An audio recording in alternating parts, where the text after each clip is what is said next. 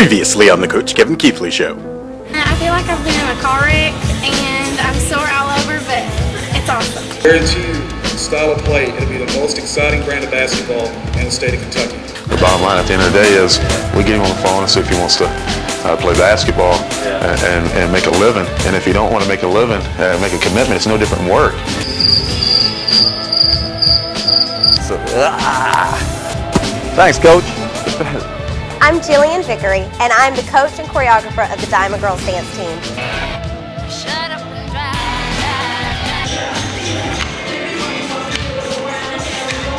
secret compartment with the swivel. Right there. Keeps going. Keeps going.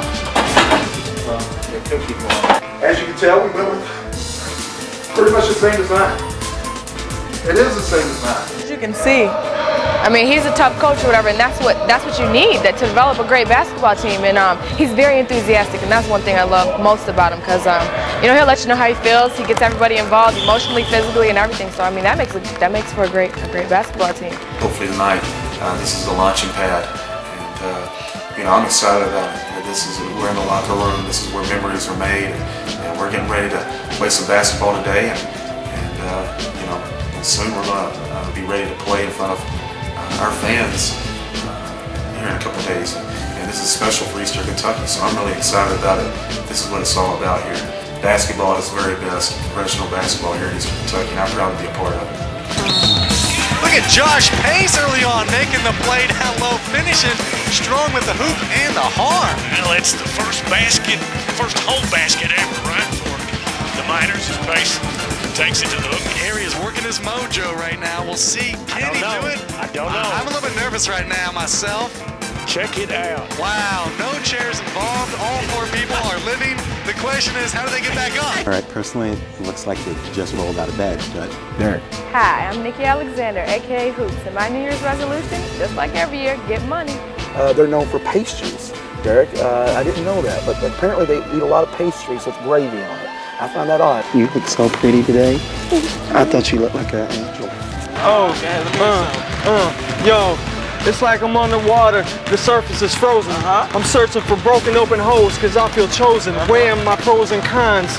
I know the road is narrow, but I'm being chased with chariots of Pharaoh. You guys put up a CBA record 194 points to come away with a 194 to 115 victory. Promise you we're going to put the most exciting brand of basketball uh, uh, on, the, on the Expo Center floor uh, right here. And we're going to do it right here in the state of Kentucky. Most exciting brand of basketball. And will be a big part of, uh, of Pikeville and Eastern Kentucky. And when people come around this area, they'll, uh, they'll know that, uh, that the Miners are, are Eastern Kentucky's team.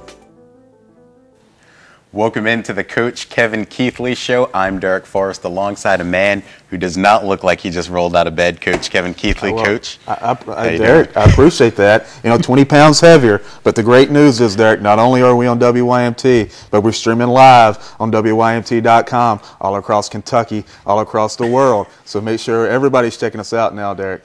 Well, I wasn't going to mention the fact that you were 20 pounds heavier, but uh, Yeah. you are. You gained some weight in the off season, but You know, we'll- hopefully you, you talk about uh, running the team. Hopefully you'll run along with them. Yeah, we'll join in. in the we, Expo Center. we had Jay Fiedler last year running stairs. I'll jump in this year and make sure we get back into uh, TV shape.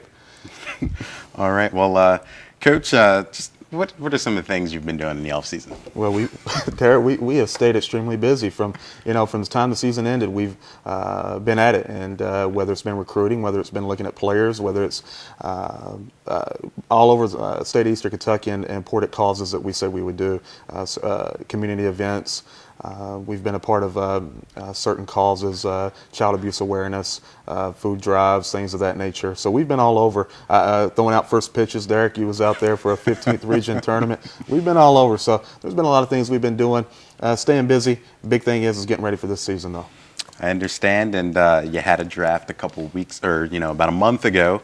You signed a couple of uh, big names. We'll get to those guys a little bit later. But uh, without talking about those guys, how do you think you did in the draft? I think we did really well. We've got a uh, we could have signed probably four of those guys, and uh, that's what you do with the CBA draft. You uh, turn over every stone, like we talked about last year, and look at the guys that best fit your system. And, and you know, I think we're doing a good job because it really shows, Derek.